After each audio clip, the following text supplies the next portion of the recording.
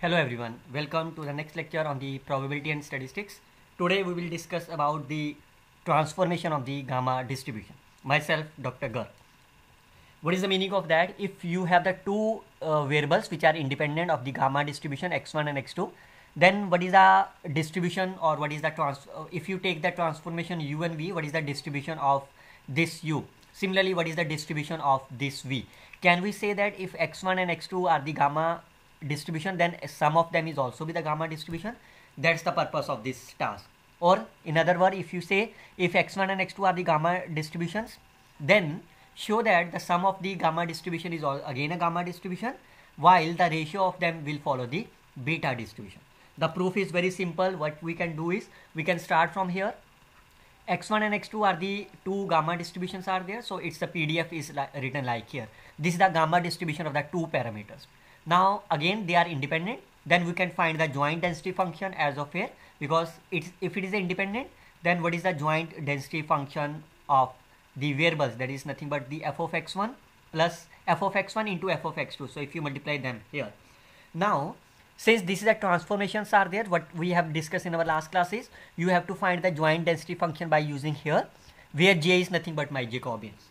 And the uh, transformations are given to here what is the rule behind that? You have your target is to find the value of the x1 your target is to find the value of the x2 so that you can find the jacobian. You can easily see that if you multiply them both what will happen? You can easily get that uv is nothing but my x1 it means you can find the value of x1 as here substitute this value this you will get it find the jacobians easily. What is the partial derivative with respect to u is nothing but my v and so on you will get the jacobian as of this. Further x1 and x2 both are greater than equal to 0 is given to you. What is the meaning of the x1 is greater than 0 it means uv is my greater than 0 and here. What is the meaning of that is u is greater than 0 v is greater than 0 and from here you can see v u is less than of the 1 otherwise it will be a negative. So that's the domain of this. Now you can substitute all the values are there. This is my jacobian. F of x1 and x2 what is the f of x1 and x2 are here? This is the v I can substitute the value of the x1, x2 here by using these values. What is that? This is nothing but here. Now we can compare them. So these are the pairs of the u. We can collect the pairs of the u. We can collect the pairs of the v separately. We can get here this is the u and this is the v. Now since this is a part of the uh, gamma of alpha, gamma of beta and we all know that gamma of alpha, gamma of beta divided by gamma of this. This is nothing but my beta function of alpha and beta.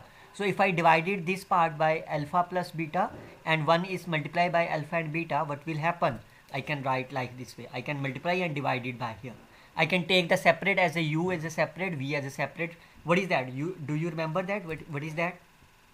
Which distribution is here? This is, yes, this is nothing but my beta distribution. And what is that?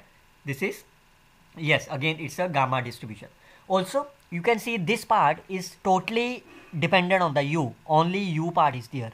And this part is totally dependent on the v. What is the meaning of that? U and v are independent. So what is that? If this is the part related to the u which, which distribution is there? This is nothing but my beta distribution of the first kind. This is the gamma distribution are there. So it means sum of the two gamma distribution is again the gamma distribution while the ratio of them will be here otherwise if you are unable to remember what is the pdf or uh, gamma distributions are there what you can do is this is the pdf of the joint density function. We can find the marginal density function of the this is the optional for you if you are unable to remember the previous one. So you can find the marginal density function of the v. Now since this is the integration of the v so this part is constant this is constant this is constant which is taken outside. What is that? You remember that? What is the integration of x to power n minus x and minus of say a of theta what is that? This is gamma function of the n divided by a raised to power n. So here a is my 1 by theta so you can see that this value is my here. Now what is that? This value and this value is nothing but my beta function so you can write as a 1 by beta. So what is that? This is nothing but beta distribution of here. Similarly you can find the marginal density function of v uh, what is that? You can integrate with respect to u so this part is my constant. It can be taken outside. This part is my constant which can taken outside. So this is that. What is that? You i think you can easily remember that this is nothing but my beta function of alpha and beta. And you can see you can substitute the value of the beta is my alpha gamma function of here. What is that? This will be cancel out. And what is the pending is my here. Again you can see what is that? This is nothing but my gamma function of here. This is the gamma function of the second kind. First kind is that when theta is 1 then we generally call as the first kind. Look at the another question is there. If x and y are the two independent gamma variates with only one parameter that's the gamma distribution of the one parameters then you have to show that x plus y that is again a beta gamma distribution while the ratio of them will follow a beta distribution of the second kind so that's again very simple. This is the gamma distribution of the first kind. So what is the pdf of the gamma distribution of first kind? Here this one. Since they are given to you independent so we can find the pdf of this as here. Now transformation is given to you. So what you can do is you have to find the joint pdf by here. Why while your target is to find the value of the x1 from here x2 from here now why, how you can find that? Either you can find the value of the x1 from here. This is my v of x2 substitute this value here. What is that? U is nothing but my x1 uh, x2v plus of here. So what is that? This is x2 is common. This. So what is that? X2 is nothing but my u upon 1 plus v. And once x2 is my here v is my v upon this one.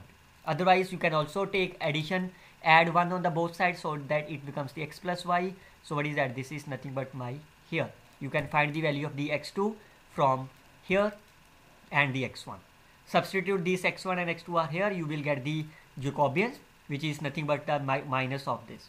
Further, x1 is greater than 0, x2 is greater than 0. What is the meaning of that? If x1 is greater than 0, what is the meaning is uv is greater than 0, x2 greater than 0 means u is greater than 0. What is the meaning of that? Both are my greater than 0. So what is the range of the u and v? This is nothing but 0 to infinity. Substitute all the values are here, we will get this equation. We can substitute the value of the x1 this is the substitute the value of the x2 Jacobian is nothing but my this is not true this Jacobian is my here now we can substitute this value this is uh, the actually the Jacobian now you can come you can take the u coefficient separate v are there.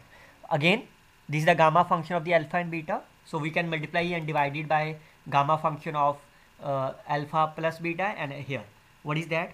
I can take this uh, this is the function of totally dependent on the u and this part is u. I can take it common and so on. Again you can see this is a totally dependent on the u. This is the totally dependent on v. What is the meaning of that? u and v are independent variables do you remember that which distribution is here? This is nothing but my gamma distribution. What is that? This is this is beta distribution of the second kind. So what is that? These are the required proof of this. So what is the conclusion is that if you have the two this is very useful for your CSIR net this is useful for the IIT JAM and this is also useful for the gate examination so if you have the two gamma distributions then uh, you can see the ratio is the beta kind of first kind sum of the two independent gamma variate is also the gamma variate ratio of the two independent gamma variate is the beta distribution of the second kind remember that this beta independent is a important thing so this is the way you can transform the gamma distribution. We will see some more transformation in our next class related to the two-dimension random variables. Till then, you can simply follow this link for finding the various videos. Best of luck students. Happy learning.